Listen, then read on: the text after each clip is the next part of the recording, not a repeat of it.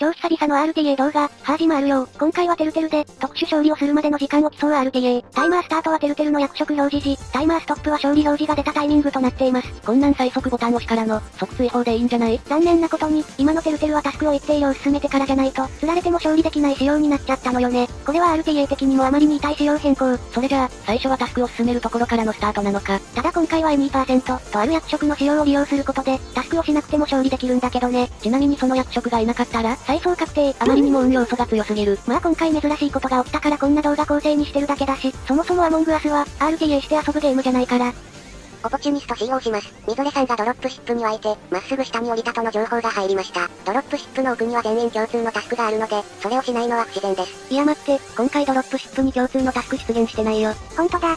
今回そこのタスク出現してないわ。危ねえ。そういえばポーラスには共通タスクあるの忘れてたわ。ドロップシップ奥のこのタスクは、全員に発生する共通タスクというもの。共通タスクはランダムで出現するけど、今回はそこではなかったみたいだな。あ、オポチュニストの画面で見てもそこにタスクないじゃん。となると、それに気づかなかった情報提供者が怪しくならないそれじゃあ、情報提供者を発表します。ひなにお前だ。いやいやいや、スーッと下降りていったから怪しんだだけじゃん。でもひなにさんは、ドロップシップの共通タスクを、ないのにあると勘違いしたんでしょ？クルーはタスク確認できるんだし、インポスターか第三陣営のどちらかってことになりそうだけど、自分疑われてたのに、一言も話さずに容疑晴れててくさ。共通タスクの存在忘れてたから、ここ釣られてたら再送案件だったな。ああ、そこまで言うなら自分役職で解きますわ。自分ナイス猫股、釣られたら誰か道連れにするぞ。待って、自分が真のナイス猫股なんだけど、これひな兄さん嘘ついてるから、ひな兄さんを釣るべきだよ。やべ、もうスキップ入れちゃったわ。自分もスキップ入れちゃった後だから、これもうひな兄さん釣れないかな。よしよしよし、ここでさっき言ってたとある役職が登場。猫股や猫かぼちゃといった道連れ系役職で釣られると、なぜかタスク終わってなくても勝利になるんだよね。これにより、タスクを進めるための時間をスキップできるということか。ちなみにここ、当時の自分はなぜかスキップに投票してる模様。ここがば、これ言えば全部許される魔法の言葉じゃねえんだぞ。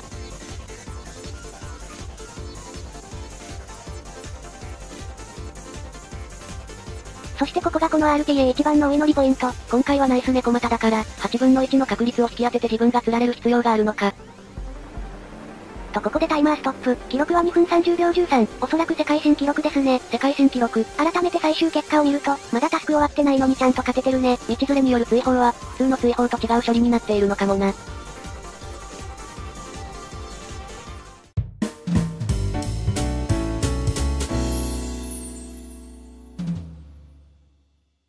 帰省したり帰省したり帰省されたりしてたら夏がもう終わりかけ、なかなかに大変な8月を過ごしてたようで、お待たせしすぎたすごいやつということで、今日もアモアスやっていきましょう。最近ドラマ化してたけど、今の子に元ネタ伝わらないだろ。最近、人食いもなり座のシーンが、かなり怖かったのを今でも覚えてますね。そ、それじゃ今回の役職は魔術師か。このチャンネルではまだプレイしたことのない、初めての役職ね。え、過去に1回やってるはずじゃ。と思ったら、そういえばレイムさんその時圧縮されてましたね。3つのマーカーをズドンして、その中の範囲の人をドカーン。全員キルすれば勝利の役職だぜ。多分幼稚園生でももうちょっとうまく説明できると思うぞ。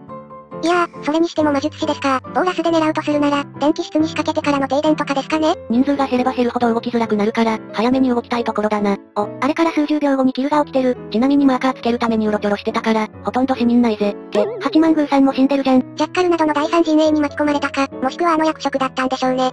ええ多分自爆魔です。今回キルされたこの4人、全員通信室の中に死体ありました。ああ、これ八幡宮さんたちの自爆魔っぽいな。自爆魔と魔術師のインポスターコンビとか、あんまり考えたくなかったわ。自分視点は自爆しかありえないと思うから、自爆魔が自爆して、現状残りインポスターは、あと一人なんじゃないかなって感じ。えー、っと、自分占い師でまだ誰も占ってないんだよね。これこの中で、誰を占えばいいんだろう。まあ無難に、ひな兄さんとか占えばいいんじゃない？一応ひな兄さんが死体の位置情報を嘘ついてる可能性もあるし、仮にあったとしても、侍とかの反撃キルの可能性としては捨てきれない。それじゃ、ひな兄さん占います。いや、やめろ、見るんじゃない。占った結果、ひな兄さんは第三陣営、スペランカーですね。よし、スロー。いやいやいやいや、ちょっと待ってくれ。少し話を聞いてほしい。まず自分が侍じゃなかった以上、この4キルは自爆まで確定でしょ？時間的に、1分経ったか経ってないかってところだよな。インポスターにダブルキラーがいたとか、キル対象にラバーズがいたとか、それぐらいじゃないと普通のキルでこの死体数はおかしいですもんね。インポスターが1人だろうと2人だろうと、自分が生存してる限り勝つことはできない。スペランカーは単独勝利だから、オポチュニストみたいに手を組むこともありえないからね。だから絶対、どこかのタイミングで自分をキルしてくるはずなんだよ。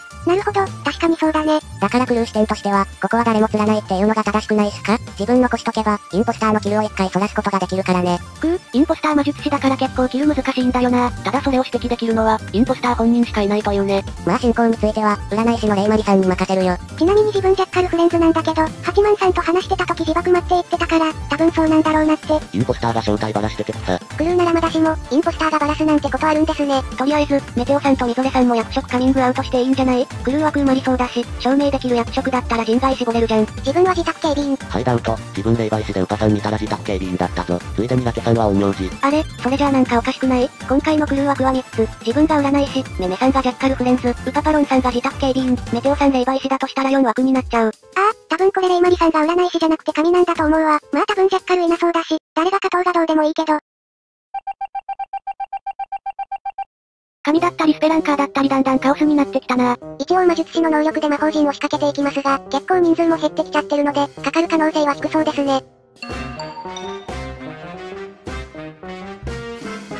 俺霊魔にサボタージュ直せないから神じゃねえか。このターン絶対キルされると思ってたけど、なんか生存したわ。えー、今回ミゾレさん魔術師なので、狙った一人をキルできないんですよね。だからひな兄さんが、逃げ回ってたら一生キルできません。っていうか今盤面に残ってるの、もしかして全員別人？ねジャッカル陣営、インポスター陣営、クルー陣営、第三陣営の大混雑じゃん。全員違う勝利条件だから、古文奮闘するしかないというね。いやー、でもこれひな兄さんするしかないでしょ。魔術師に、狙った二人をキルできるほどの器用さはないからね。いやー、マジでこれチャコさん通報するんじゃなかった。スペランカーなんていらねえわ。やべえ、やっぱ魔術師バレてると一生キルできる気しないわこれ。魔法陣作ってる間に遠くに逃げられるし、全然うまくいかないな。ひな兄さんに全力で距離取られてるので、マーカーをつける暇がありません。もうこの際レイマリさんでもいいからかかってくれ。拉致が開かないし、とりあえずひな兄さん釣っとくか。このまま逃げ切れれば、ワンチャンあると思ったのにな。このターンで決めないと、さすがにメテオさんのタスクも終わりそうだな。もうここまで来たら、誰か一人キルしたら協力してあげるよ。魔術師が誰かわかってるなら、正直こんな近くいても避けるの楽そう。よーし、今回はミゾレさんのそばで付きまとう。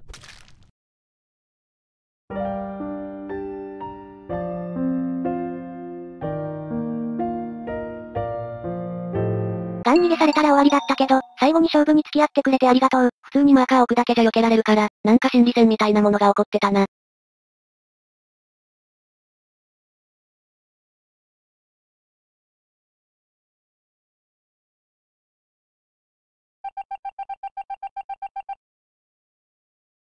ということで、お情けをもらいまくってなんとか勝利。試合時間約20分にも及ぶ激闘。あまりにも試合が長引きすぎて、墓場から品縮を買ったのはまた別のお話。ということで、今回の動画はここまで。もしよければ高評価にチャンネル登録、Twitter のフォローなどもよろしくな。